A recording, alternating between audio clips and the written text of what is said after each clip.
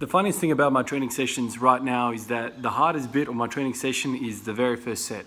So the very first set I usually do, I've done it once before, this is kind of like the new approach I'm doing, is 50 reps with an empty barbell. And I know that doesn't sound like much and I didn't think much of it um, until I decided to do it. It is extremely difficult. Um, it kind of reminds me of the 20 reps squat program in milk. Um, where you kind of have to stop and breathe through it.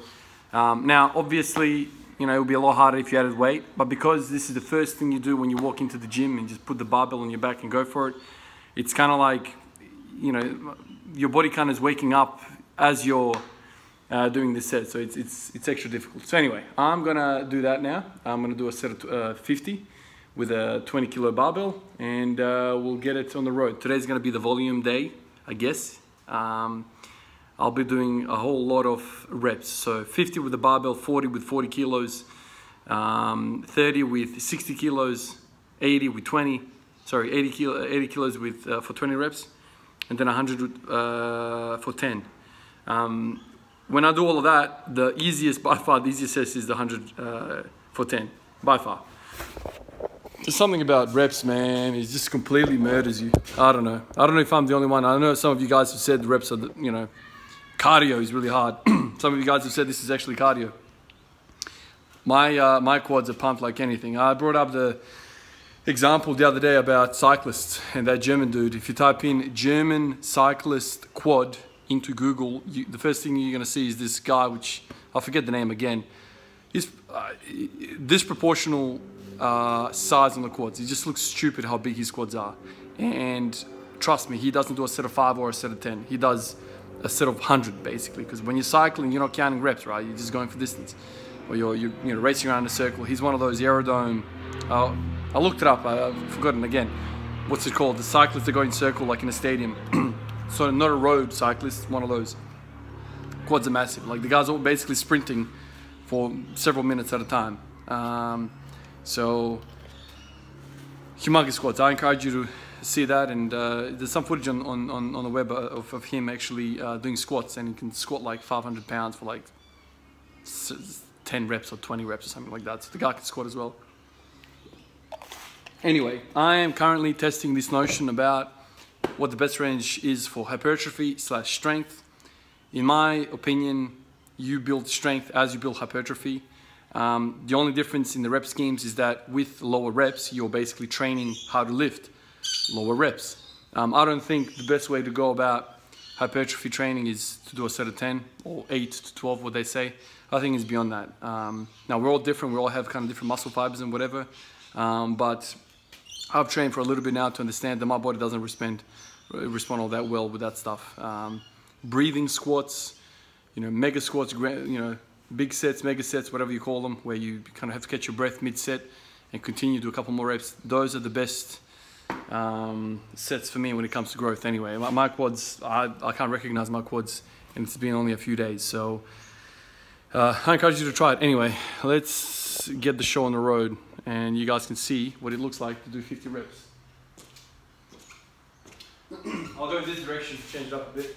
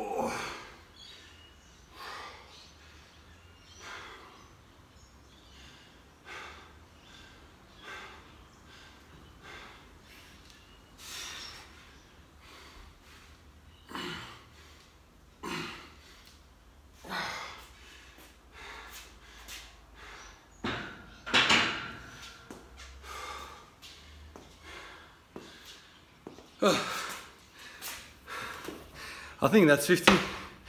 Might have lost count. Oh man.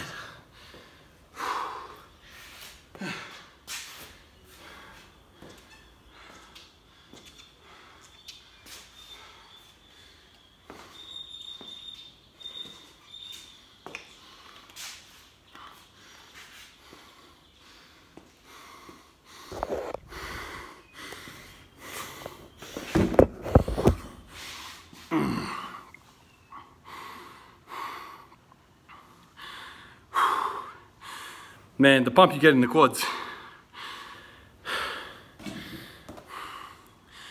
There's nothing that I've done in the past that's done the same thing.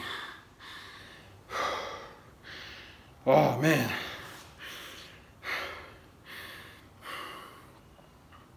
When I do sets of five to 10, you know, you have to use relatively heavy weight, you know, to get that stuff, you know, up to 10 reps. The trouble with the, that stuff is that your body's clever, man. Your body tries to take the path of least resistance, you know. So if you're trying to bring up your quads and you're always working with reps of 5 to 10, that's still pretty heavy weight. It's still pretty heavy weight to train weaknesses because your body is, is probably thinking, I need to get this weight up to get this weight up, I'm not gonna use the weak muscles because they're too weak. I have to use the stuff I'm already good at. For me, the glutes. So for me to shift the blame or the work onto the quads, I need to really use a weight that's so light that even weak muscles can do the weight. So when we're talking about one rep maxes and taking percentages of that, I think it depends on how weak your weaknesses are.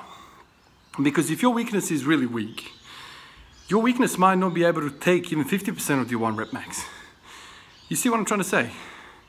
So you can't, your body as a whole system, when it's all in unison, is one rep max. At what point of your one rep max can your weaknesses take over the movement? So when I'm squatting the barbell, I feel all the tension in my quads. When I squat five rep maxes and above, even 10 rep maxes, I feel other musculature work. I never feel a, pump quad, a quad pump. And that's because my quads are really weak and it's on my primary path for my body to take. So if you're trying to engage some of your weaknesses, consider this. I, I really think you should consider this type of uh, thinking with it. Um,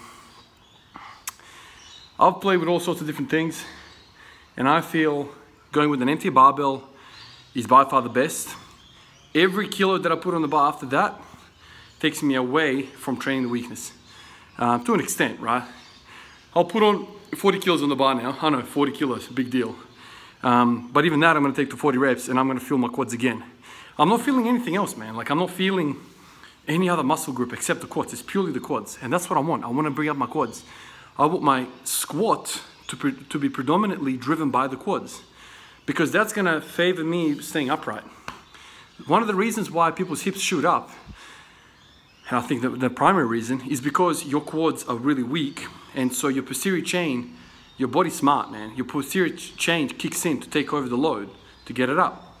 Um, your quads can't even contest in that rep because it's too heavy for them. So it just takes a secondary role, right? Um, so I want to squat really upright, kind of the oly kind of looking squat.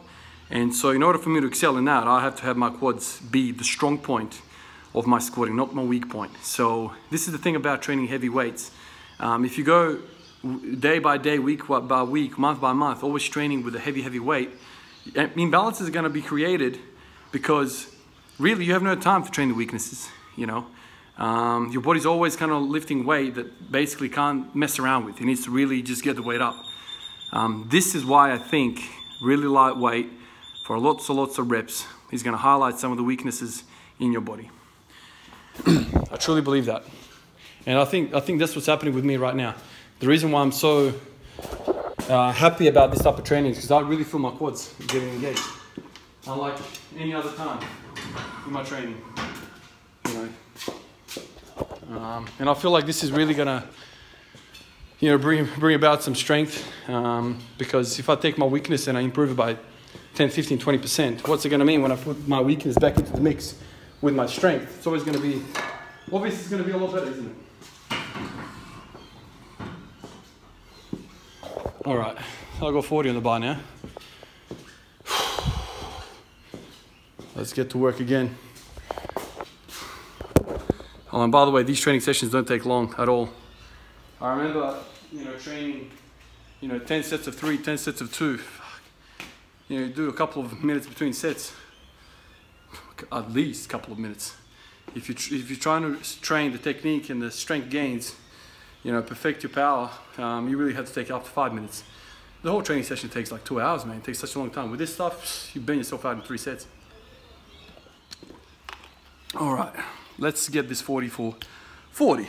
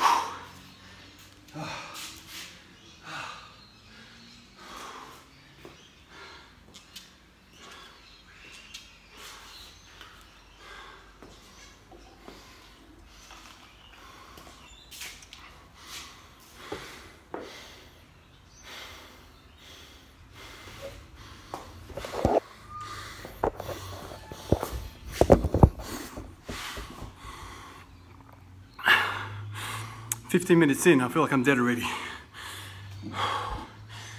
oh.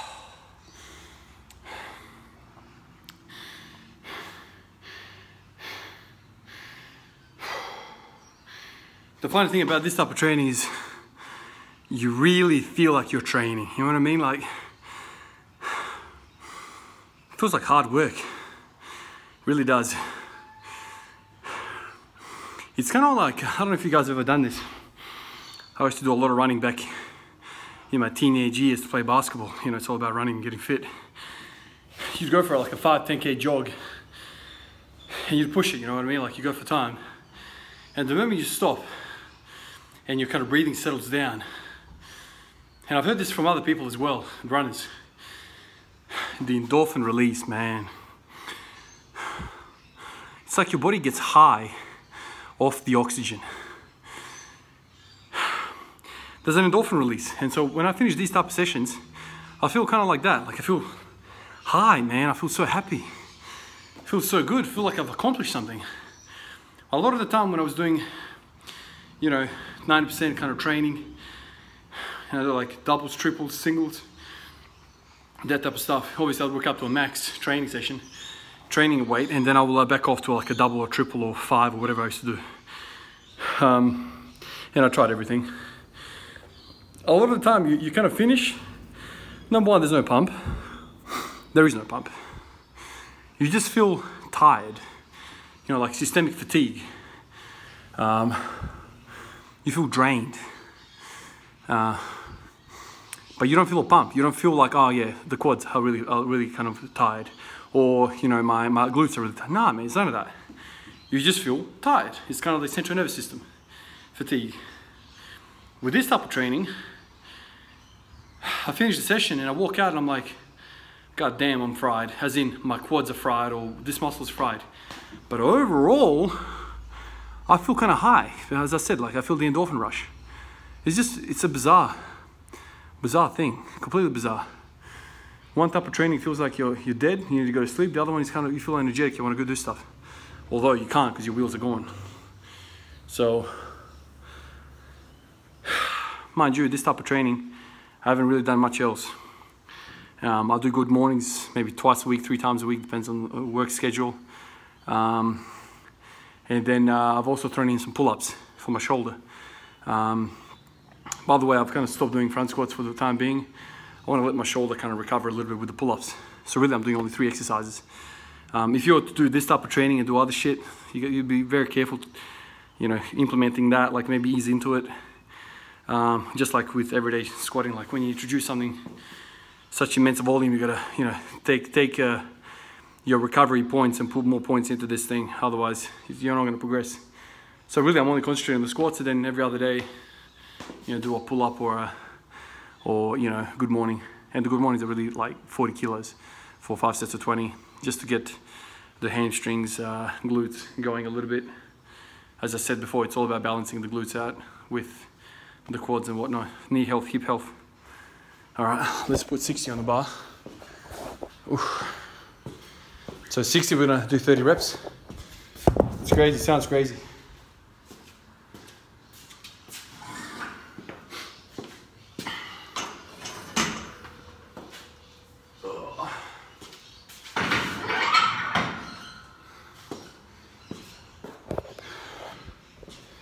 you really feel muscular fatigue or muscular failure when you're doing these, this type of training, man. Like you really feel like there's nothing left in the muscle. Like I keep saying it, you feel like you're actually training.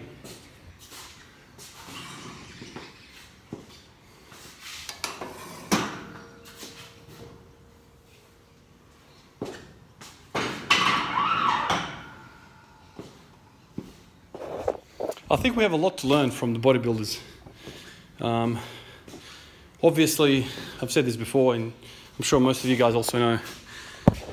When you're talking about bodybuilding, you know, you have to be, be careful where you take advice from because obviously the steroids ruin everything. If, uh, if a natural guy is trying to do a steroid workout schedule, no, nothing's gonna happen.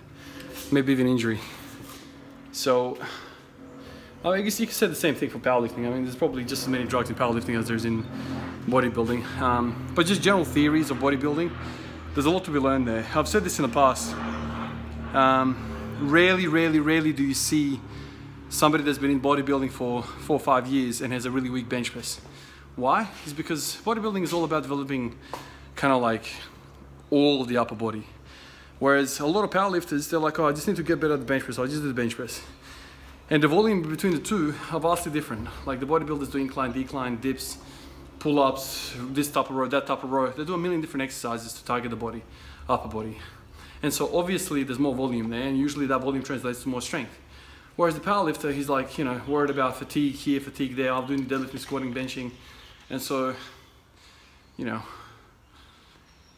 there's a lot of undertraining going on, I feel like, in powerlifting. That's what I'm trying to say. Whereas in, in bodybuilding, that they work with less like weight um, and they just get the bloody volume in. And I truly believe, out of all the things that I've seen so far in my life in training, volume is the biggest driver. Um, just get the damn volume in. Whatever, however you want to do it. You want to do a set of 50, a set of 40, whatever, whatever. Just get the volume in. Obviously, the higher weight you go, the more implications there are to the central nervous system and whatnot. This is, uh, I call this cheap training because it doesn't really cost the central nervous system anything. The weight's so light, you're just getting the pure volume in. All right, we're in shot, we are. All right, 60 for 30. Ooh, this is gonna be tough.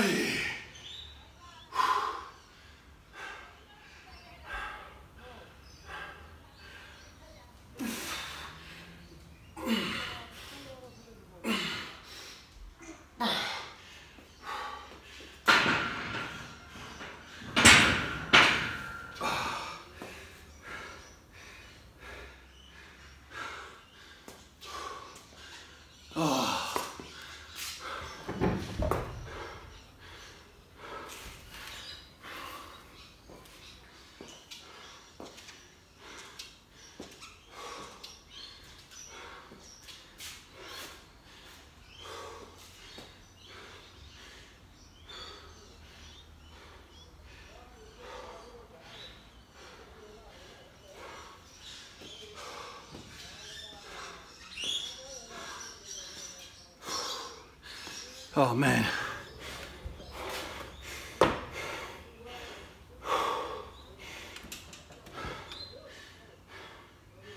Oh, fuck.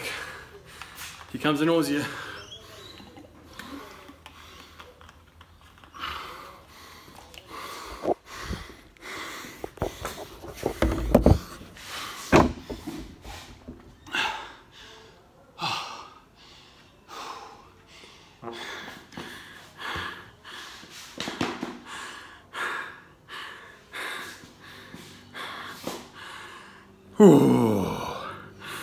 He probably doesn't look as bad on camera, but I'm hurting right now.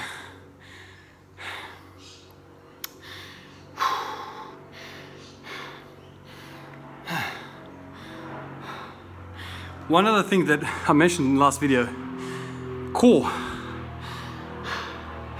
What's better to do? A set of 50 squats or some crunches? Where's the body working more? Oh man, can't even keep my legs bent. Right now I'm feeling my lower back, uh, fatigue, my core, front core, anterior core's fatigued. Uh, so after this I'll do 80, then I'll do 100. And then by the time I get to like any sort of decent weight, for me, like I think last time I did up to 70%,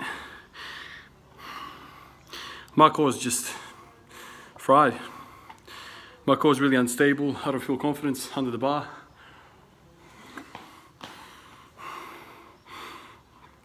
This is the other thing with this training. Your core gets a whopping, whopping, whopping workout. Man. Anyway, I, I feel like the worst is over now. 80 for 20, I think, is a lot doable, a lot more doable than anything over 20 murders me, man.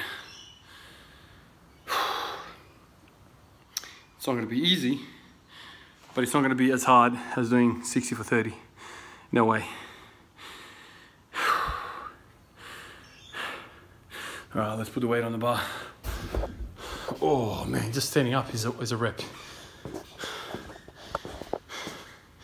So we're 26 minutes in.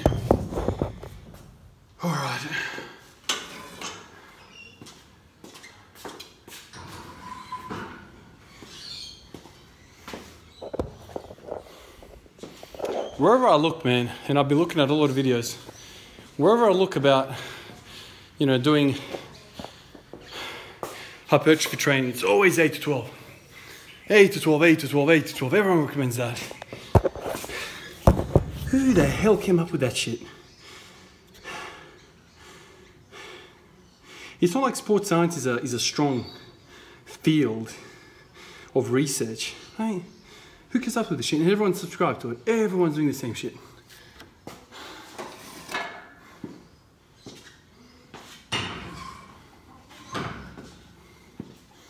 Yeah, that's what the research suggests. But I see people all the time. You know, some people, not everyone obviously, the majority stick to 8 to 12. I see people here and there doing all the time reps over 20, 30, 40. I said George Leeman in one of the videos previously, and one of you guys said, oh, look, you know, steroids, blah, blah, blah. Uh, absolutely. And he's even said he takes steroids. Um, but I'm going to put it to theory. I'm going to put this theory to the test. That's what I'm doing now. I want to see what the results are going to be. You know, a few weeks of this type of training. Um, the immediate results are that my quads have just blown up. And yeah, sure, you could say that a lot of that hypertrophy is sarcoplasmic hypertrophy. It's not myofibrillar hypertrophy, meaning that the sarcoplasmic hypertrophy is kind of that fluid retention that people talk about. It's all that sugar, the glycogen, it's kind of all the all the all the water, I guess, surrounding the muscles, in between the fibers.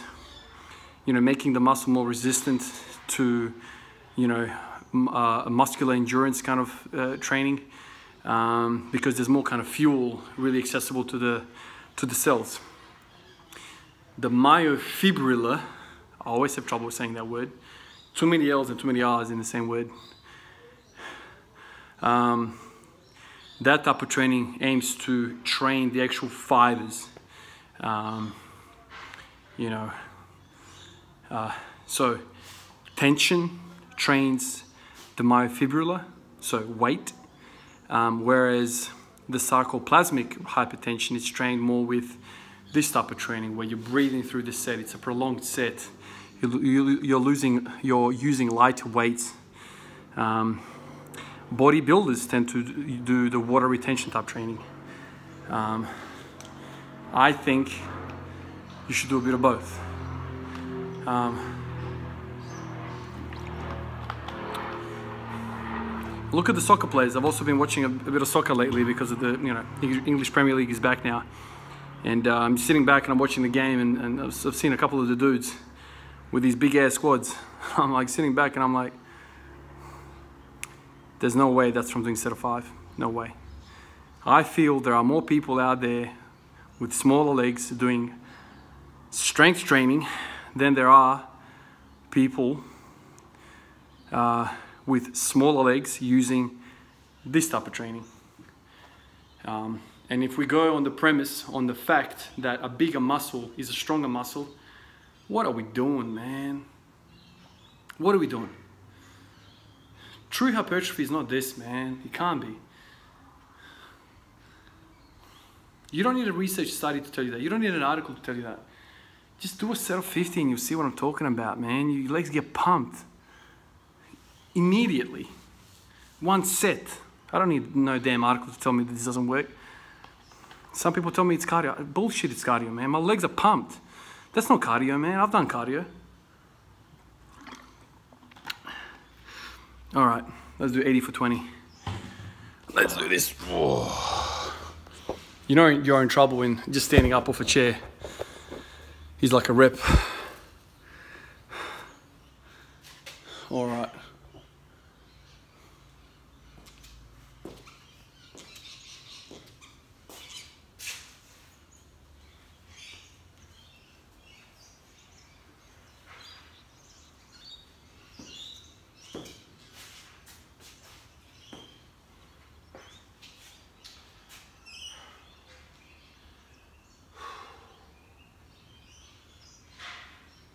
All right, let's do it.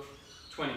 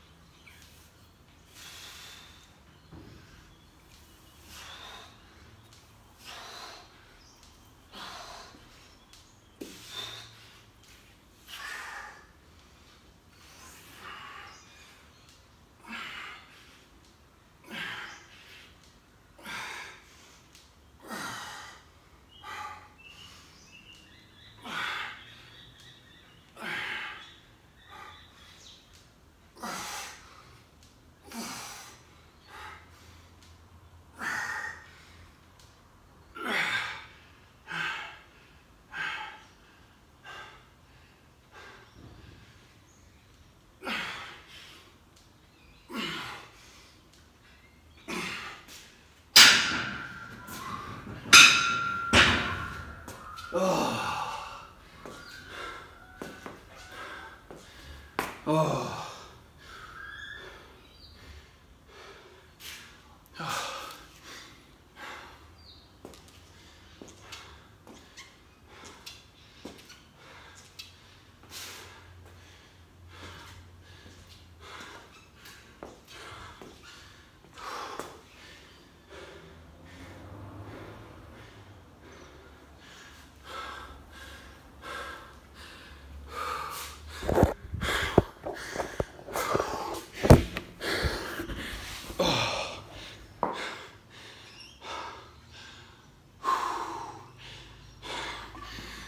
man.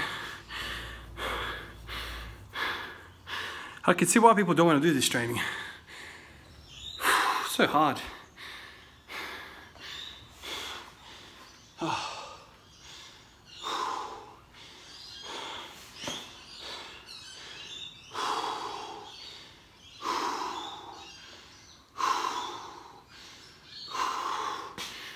Oh, brutality.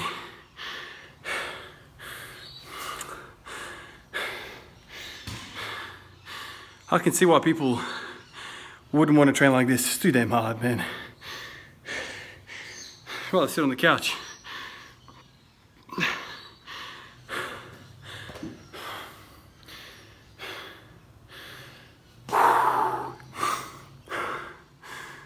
It's war. All out war with your mind.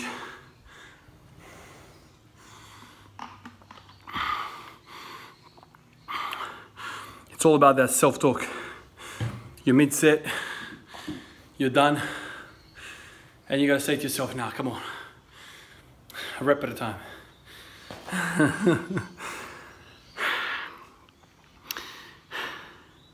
That's why running is really hard. Because you all you want to do is stop. Your body's telling you to stop. Up here, this is the thing that keeps you going.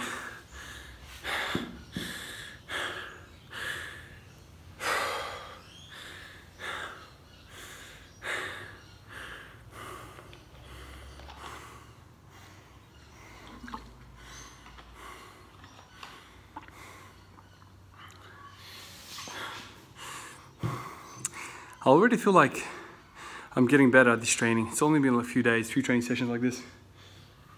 And I feel like my body's trying to catch up. Man, the first time I did this shit, like it took me an hour to get to this point. One hour. After the barbell, 50 rep with the barbell, I was walking around the backyard for 15 minutes. Jelly legs, pure jelly.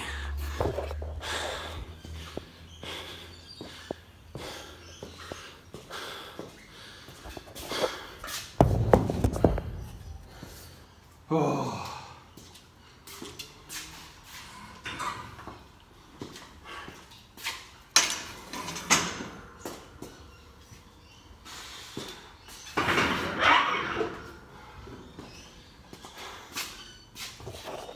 So now I can already tell you the training is going to get easier because I'm doing high weight, lower, lower reps. Already it's easier. I'm used to this shit. You know, whenever I don't have to huff and puff and battle lactic acid, I'm good. So 100 kilos for 10 is going to be a piece of cake compared to the previous sets. Absolutely. I feel that way.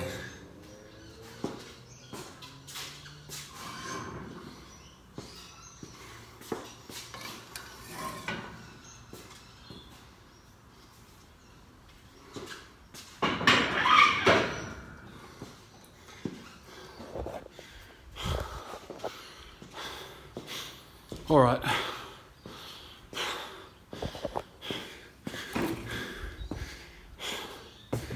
Now, is a set of 10.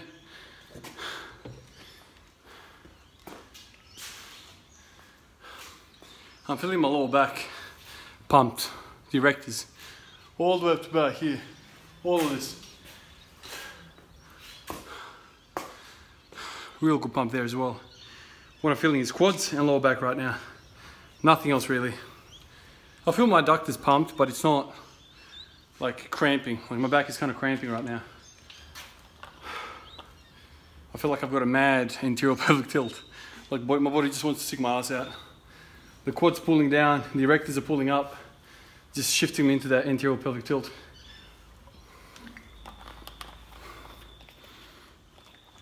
All right, let's get 10 out of here.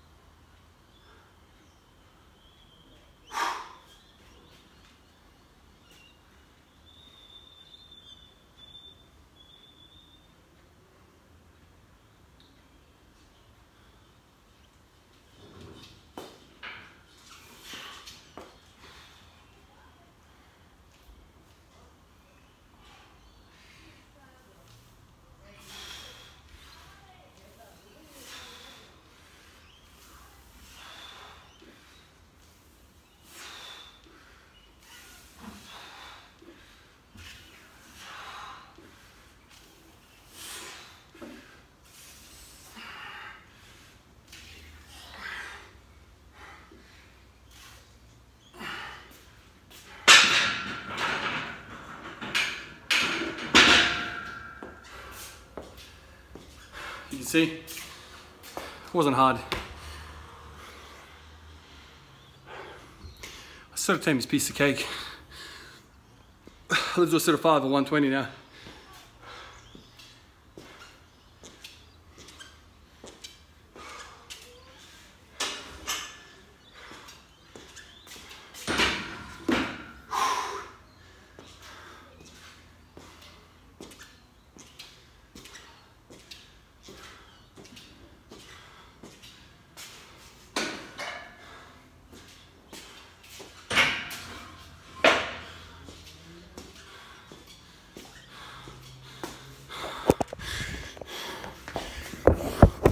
And there's obviously a, like a tipping point with this.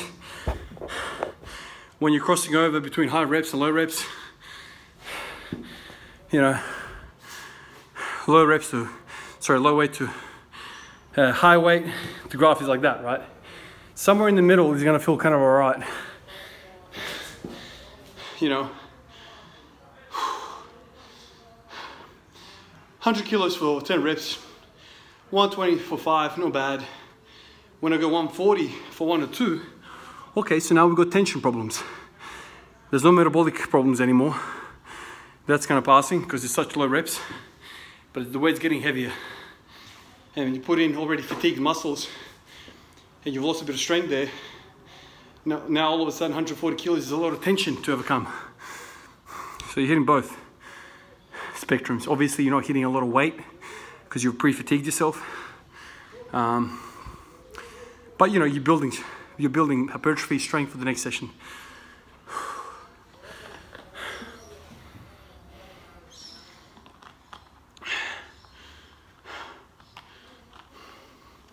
So I'm giving you guys this video. You can see exactly what I've done. Uh, you know, 40 odd minutes in. I'll uh, keep it rolling. You guys will see next few sets. I imagine 160 is going to be my top set. I don't think I'll be able to get any more weight up. But we'll see. We'll see. The core's going to be the limiting, limiting factor. Just like the other day. I hit 160 for one and I was like, hmm, very unstable at the bottom. Very not sure of my positioning. Call it quits there, man. Nothing to talk about. All right. Let's get the show on the road with this 120.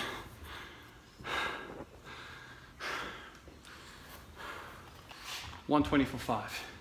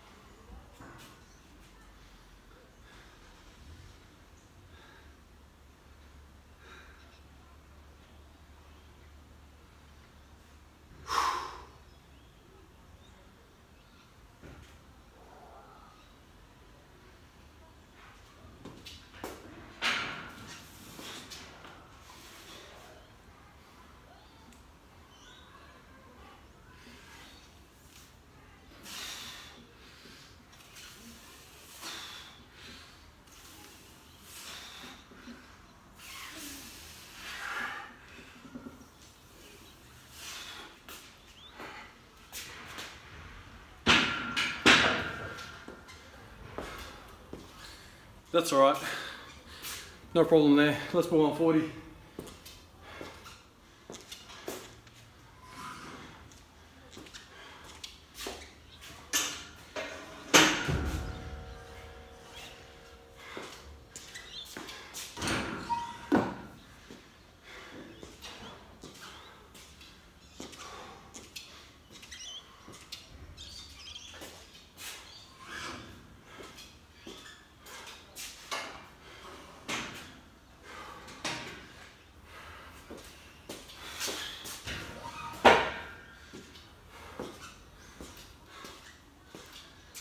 Why don't you have a seat.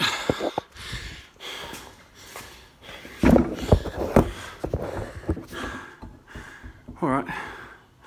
Now 140 I'll do for one. I'll do once from now on. We're getting to the heavier weight. Don't want to mess around with that. Fatigued core, heavy weight, asking for trouble.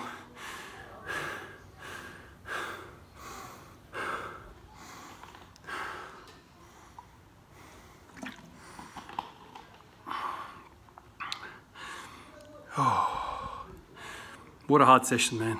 There you go, 44 minutes. I feel like this is proper, proper training. I know bodybuilders always talk about, you know, the sessions not being longer than an hour because there's no rest, you're just banging out sets, you know. I know with powerlifting training, some of the programs I've done in the past, two hours, man. Happened quite a few times, quite a few times, two hour sessions because the whole idea is you're, you're, you're moving one to five reps, heavy weight, takes a long time to recover, uh, which is interesting because this type of training is harder, you know, metabolically. It's just, you know, when you're doing five sets of five at 80%, you're not hurting, but you just, your, your, your energy just disappearing. All right, 140 for one. Have to concentrate on my core here really suck the breath in and tense up.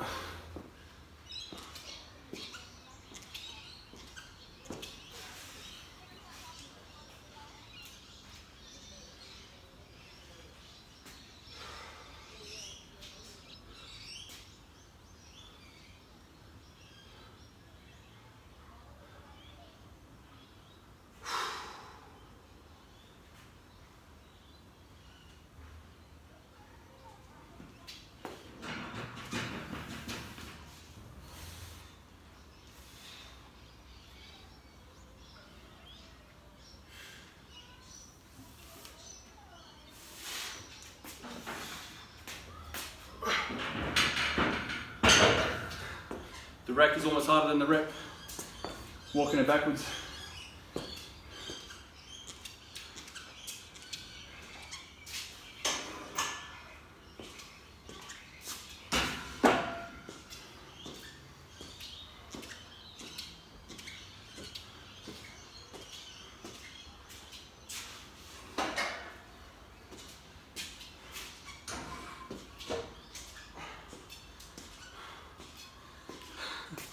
Just easy, I don't know.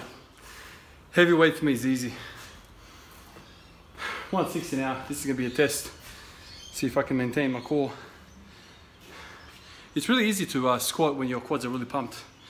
You feel like there's a there's like a spring at the bottom because your muscle just wants to extend naturally from all the blood pumped in.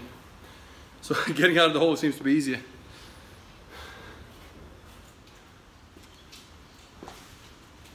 All right, let's not mess with it. Let's go 160. We'll go this way so I don't mess up my rack again.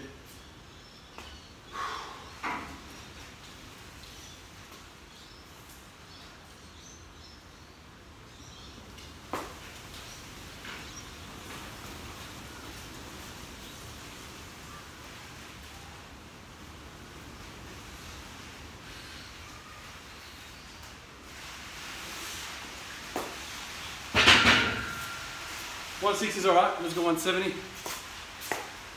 Seems to be a change in weather. Might be some thunder now.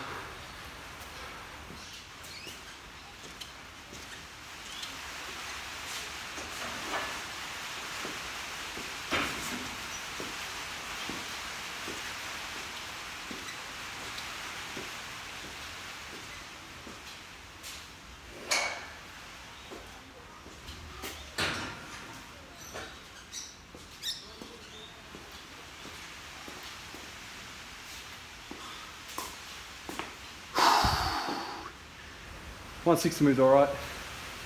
Let's do one seventy.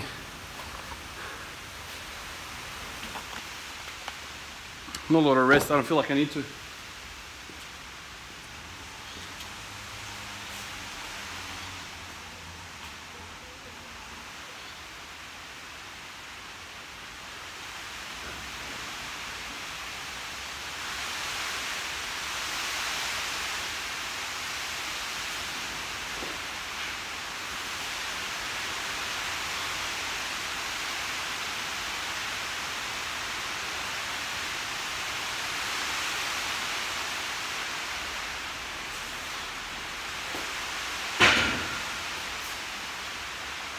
All right, that's it guys. It's getting really heavy, really hard to control the weight at the bottom. Low confidence with the weight on my back when I'm already exhausted. So there you go. That's exactly what I'm gonna do every, every other day in my training sessions. The in-between sessions are gonna be kind of like this, a quarter of this, uh, where I do a little bit of volume at the bottom and then I uh, concentrate a bit on the top end a little bit. Anyway guys, that's it for today. Catch you tomorrow.